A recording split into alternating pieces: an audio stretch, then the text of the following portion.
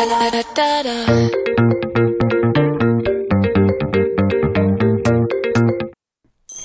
にちは、ようこです。今日は7月の4日の月曜日になります。皆様いかがお過ごしでしょうか？今回お話しさせていただく内容なんですけれども、ドイツの入国規制、で、また、えっと、このドイツの国内の、ま空港の状況、またあの飛行機の、ま運航状況、でそれから、まあ、この、えっと、チケットの、ま価格の状況についてご紹介させていただきたいと思います。まあ、これから、まドイツへ、まあ、また日本へ、まあ、このね、ま、ご旅行とかお仕事で、で、またね、お勉強などで、ま渡航される予定の方の、ま少しでも、まお役に立てればいいなということでお話しさせていただきたいと思います。で、現在のこのドイツの新型コロナウイルス感染症の状況なんですけども、まあ、なんと感染者数が増えています。で、これは、えっと、この、えっと、新型コロナウイルス感染症の新しい、まあ、変異株である、えっと、BA.5 と呼ばれるものが、まあ、主要を占めて増えているということなんですね。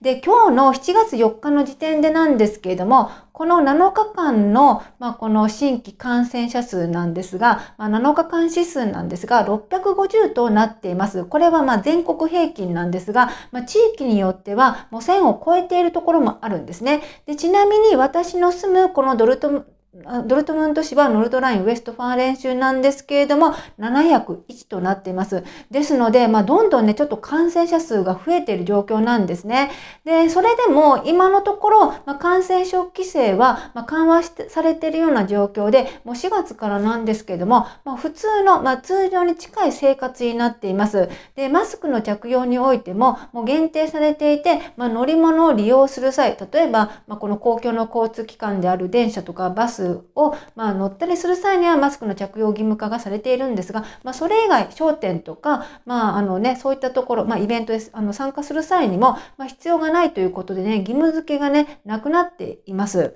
まあ、そういう状況なんですが、今、現実には、まあ、このドイツの感染者数は増えていて、で、まあ、今後どういったね、まあ、コロナ規制を取っていくのかということで、まあ、ドイツ政府も今現在検討されているんですけども、先日7月3日なんですけども、ドイツの、まあ、この首相であるショルツ首相が、まあ、公共の放送で、まあ、今後の、まあ、コロナ規制について述べられているんですが、まあ、以前取り行ったような、まあ、コロナ規制ですね、まあ、ロックダウン、都市封鎖や学校の閉鎖はしないとしています。やはりね、かなり経済的影響とか、まあ、子供の、ま将来とかにも影響が出てくるということで、まあ、ドイツ政府としては今のところなんですけども、こういった措置は取らないということになっています。で、そういうことで、今現在は、まあ、この私たちの日常生活上でも、まあ、この規制がなくなって生活しやすい状況で、で、また、ま、この、まあ、ドイツから日本への飛行機の、まあ、このね、あの入国する際にもかなり規制が緩和されています。で、そういうことで、まあ、この6月の11日からなんですけども、ドイツ政府はこの入国規制をさらに緩和をしていて、日本からこのドイツに入国する、まあ、対象者において、もうこれまで提示を求めていた、まあ、各種の証明書の、まあ、提示の、あの、の必要性はないとしているんですね。ですから、まあ、コロナの、まあ、このワクチンの接種証明書、また検査の証明書、まあ、コロナに回復したという証明書を見せる必要がなく、またこの到着後も隔離の義務がなく、もう以前と同じような取り扱いになっているということなんですね。で、ですので、まあ、日本からドイツには今入国しやすい状況になっています。で、このドイツから日本においてなんですけれども、ちょっとね、日本はかなり用心をしてていますので、まあ、日本は新規感染者数は、まあ、このドイツに比べて少ないですし、まあ、全体の感染者数も少ないんですけども、やはりね、ちょっと持ち込まれては困るということもあって、今現在なんですが、ドイツに、ま、からこの日本に、ま、入国する際には、ま、この全ての人が、ま、コロナの、ま、検査を受ける必要があるということなんですね。で、これは、ま、この出国前72時間以内に、ま規定の PCR 検査をを受けて、で、それが、まあ、陰性であることを証明する証明書を、この日本の検疫所で提示をしないといけないという義務付けになっています。で、日本に到着後なんですけれども、まあ、これまで取られていたような、まあ、コロナの検査や、あと隔離義務はないということですので、まあ、だいぶね、緩和はされているんですけれども、まあ、それでも、こういった全ての人において、まあ、コロナの検査の、まあ、陰性証明書の提示が必要となっています。まあ、そういう状況でね、今現在、まあ、この、まあ、規制が緩和されて、まあ、ドイツ、日本、また日本からドイツにま入国しやすい状況になっていて、で、今現在このドイツは夏休みに入っていて、で、まあこの7月、8月は多くの人々がこの夏休みを利用して、まあ国内外に旅行されているような状況なんですね。で、まあね、ちょっとコロナが収まって、まあ規制が緩和して、まあ自由に、まあ、飛行機でも出入国できるような状況になりましたし、でね、やはりまあこの夏の時期、まあ子供さんがいらっしゃる家庭は、やはりね、ちょっと長期で、まあ、旅行したいっていう方がすごく多いですので、まあね、こういうコロナがまだ今ちょっと増加しているような状況でも、またね、このロシアとかウクライナの、まあ、戦争の問題が起こっていたとしても、まあ、関係なく皆さんに旅行に出かけられています。で、それでですね、ちょっとね、トラブルが起こっているんですね。というのも、まあ、たくさんの、まあ、このね、あの方々が、まあ、このドイツ国外、国内を、ま移動されますよね。で、その際には、ま飛行機であったりとか、ま自動車であったりとか、電車であったりとか、いろいろあるんですけれども、やはり多くの方々がね、飛行機を利用されます。で、それでトラブルが起こっているのは、ま空港での、まトラブルなんですね。また、この飛行機会社、飛行機の、まあ、この、ま運航においてのトラブルなんですけれども、というのも、まあ、たくさんの、まあ、この飛行機の利用者がいるんですけれども、それに対応する空港の職員や、また航空会社の職員がいないということなんですね。で、それによって、やはり、まあ、このね、あの、搭乗手続きが遅れたりとか、または、このセキュリティチェックがうまくね、できなかったりとかで、長く待たないといけない状況であったり、で、また、この飛行機会社も、今現在人員不足ということで、まあ、十分な、まあ、この職員がいないので、飛行機を、まあ、その飛ばせないような状況になっているんですね。で、例えば、まあ、ルフトハンザ航空というのがあるんですけれども、そちらも、まあ、こういう人員不足で、まあ、そのね、まあ、お客さんの要望に応えられないということで、まあ、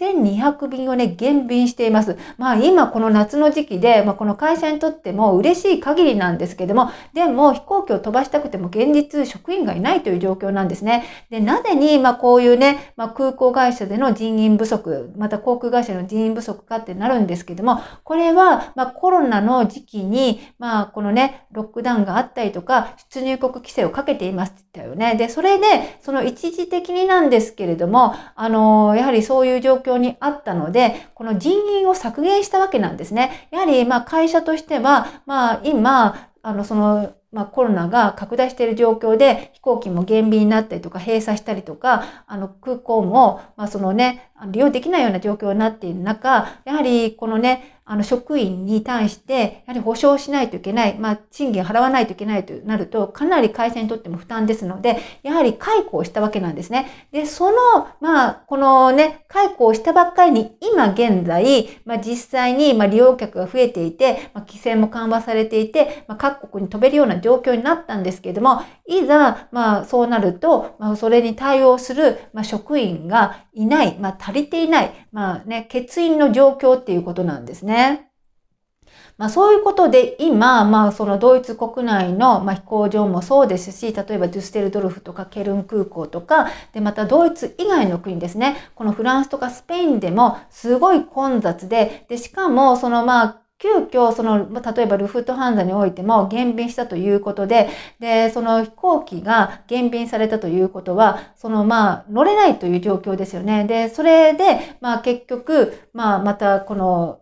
変更したりとかで、そういうトラブルが起こっていて、またその飛行機の遅延とかそういったものもね、起こっているということなんですね。ですので、すごくね、今、空港とか、まあ、においては、もうカオスな、まあね、状態なんですね。もうこちらについても、もう日々このメディアでも報道されています。まあ空港の状況とか、この飛行機の運航状況とかも、まあね、あのメディアで報道されているんですけども、まあ見るたびにね、もう人で溢れ返った、まあ、空港で、でね、飛行機に乗れなかった方々、急遽、まあ、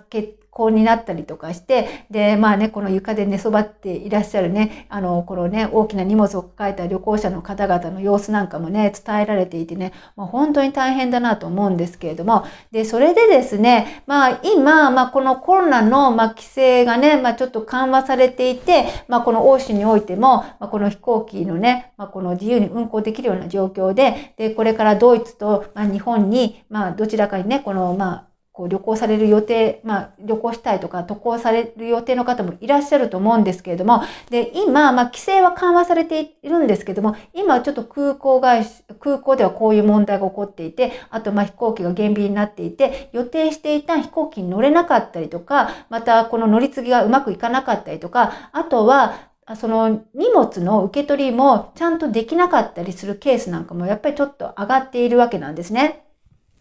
で、あの、例えばですね、あの、私、まあ、ちょっとに、このドイツから日本に帰る際には、アナ、全日空さんを利用しているんですけれども、まあ、このドイツから日本に飛ぶ前の、まあ、主要な、まあ、航空会社は、まあ、アナ、全日空さんとか、えっと、日本航空さん、またこのルフトハンザがあるんですけれども、で、それで、まあ、あの、この全日空さんの、まあ、ホームページを、まあ、見ますと、やはり、まあ、このあたりのちょっと問題なんか曲がっていて、今の、あの、このね、欧州の、あの、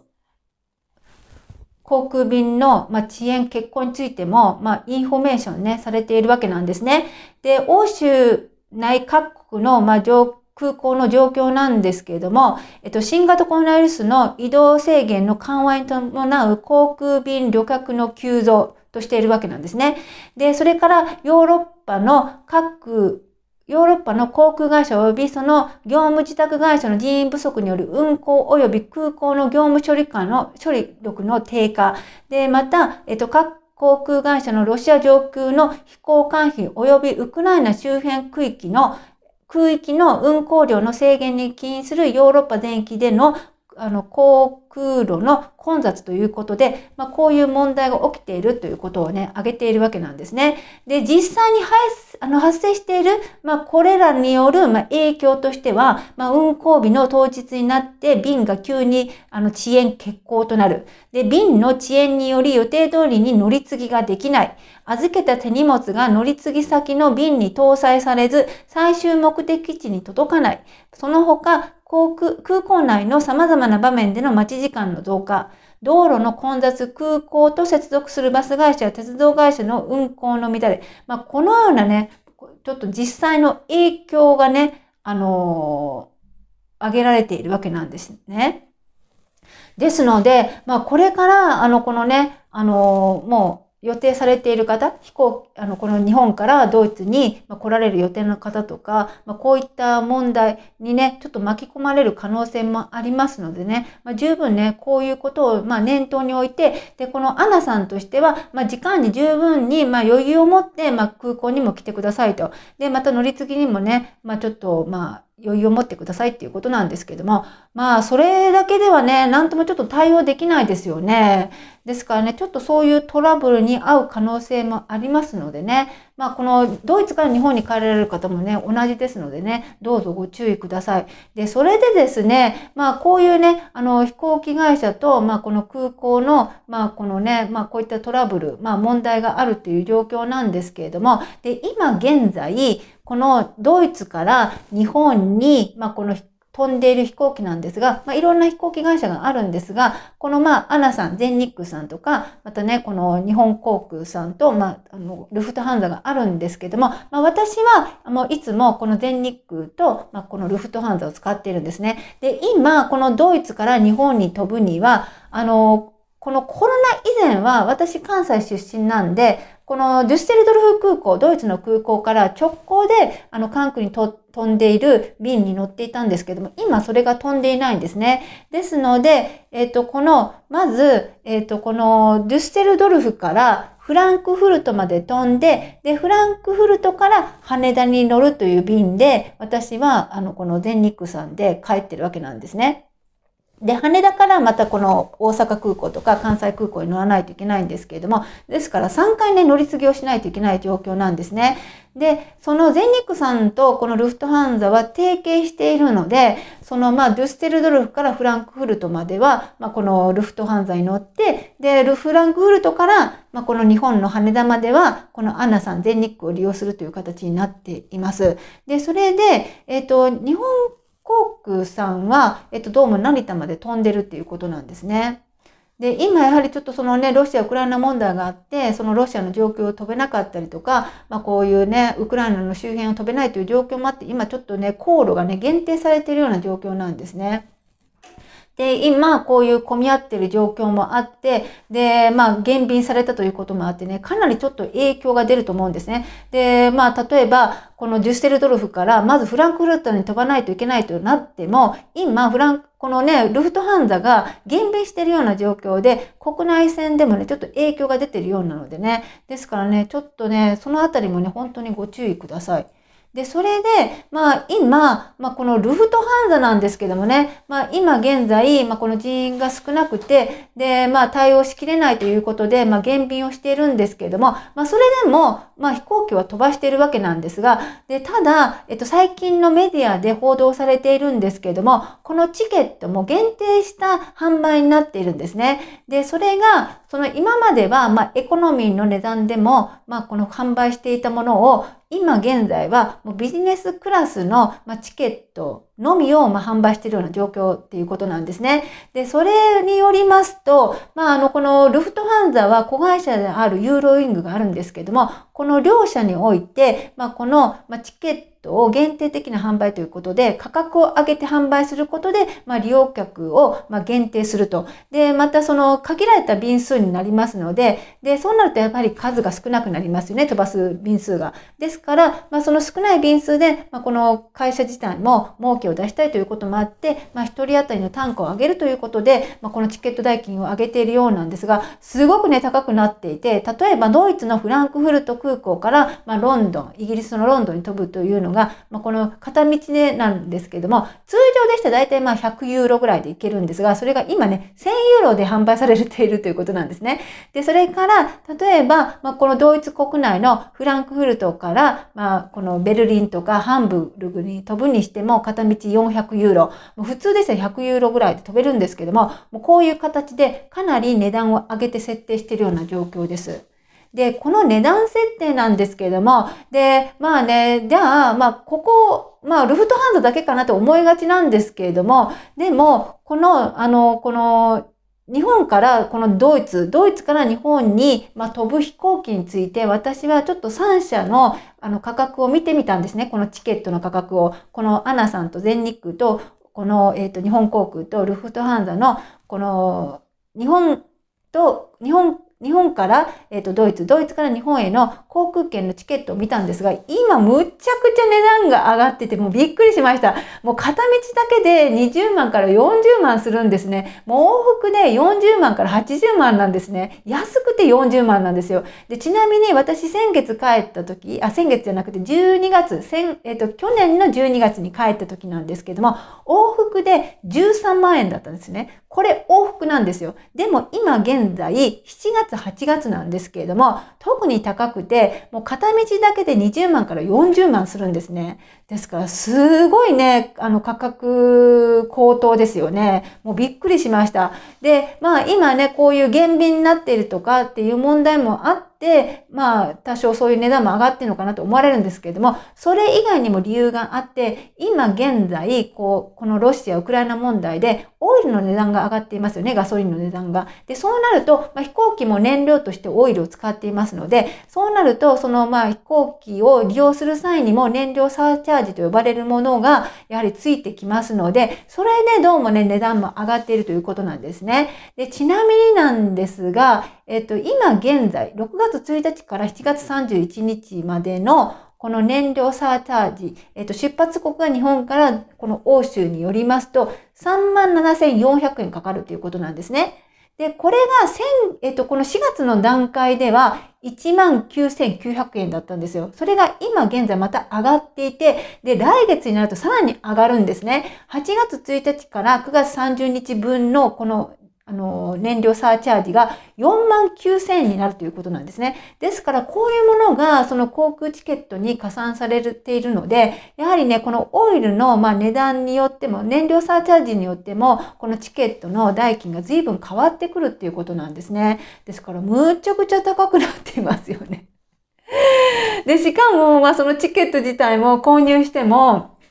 希望の日に飛べるかどうかちょっとわからないという状況なのでね。ですから、ちょっとね、いろいろな意味で余裕を持ってチケットを、ま購入しないと、ね、なんか希望通りに飛べるっていうわけでもないし、かなりちょっと金額的にも負担ですよね。まあ、あの、旅行の場合はちょっと調整できたとしても、まあ、絶対行かないといけないというわけではないですけども、お仕事で、例えば日本とドイツ間行き来されている方なんかにおいては、すごいちょっと痛手ですよね。もう片道だけでもね、20万から40万するっていうことですので、で、これが7月、8月だけでなく、あの、9月、10月、11月なんかも見てみますと、まあ、大体似たような値段なんですね。で、まあ、あの、この燃料サーチャージにおいては、まあ、オイルの価格で随分と変動しますので、まあひょっとして秋ぐらいからまたね、あの、下がる可能性はあるんですけども、今日、あの、今の現在ではね、ちょっとこういう状況なんですね。まあ、この燃料サーチャージについては、このアナさん、全日空さんがホームページでね、あの、